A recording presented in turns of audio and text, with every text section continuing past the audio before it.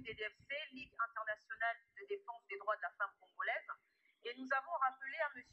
Camus Pierre qu'au travers de notre ligue, nous avons euh, écrit au lendemain de l'investiture de, de Félix Tshisekedi, nous avons écrit au travers de la structure qu'on appelle le Rassemblement patriotique une lettre à tous les ministères des Affaires étrangères, à l'exception de la Russie et de la Chine, parce qu'ils avaient reconnu Félix Tshisekedi en tant que président de la République.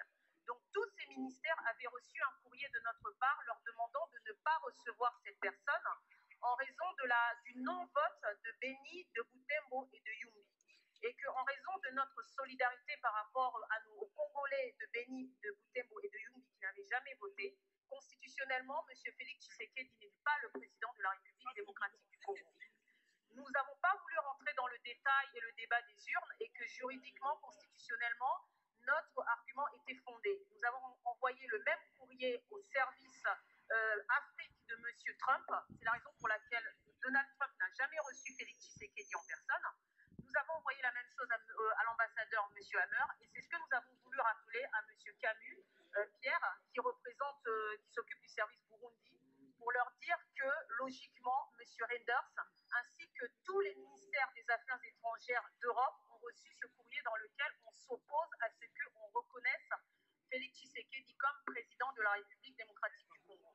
Donc ça veut dire que aujourd'hui nous nous sommes posé la question pourquoi on veut recevoir Félix Tshisekedi au nom de quelle qualité?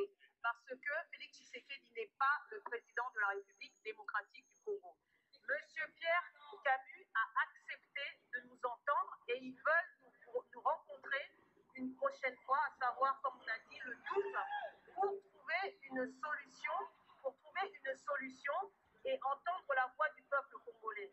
Nous avons demandé et insisté également en demandant que la Belgique se rappelle que ce que vit le Congo aujourd'hui, la Belgique a vécu la même chose lors de la Deuxième Guerre mondiale parce que le peuple belge a été aussi victime de génocide. Ils ont été génocidés comme nous. Nous avons demandé que le peuple belge puisse respecter le peuple congolais parce que le peuple congolais est arrivé à un point de non-retour. Nous sommes le peuple qui a été, qui est aujourd'hui le plus exterminé après la Shoah, parce que la Shoah a été le premier peuple, donc les Juifs ont été les premiers peuples à avoir été autant exterminés pendant la Deuxième Guerre mondiale. Nous avons demandé à M.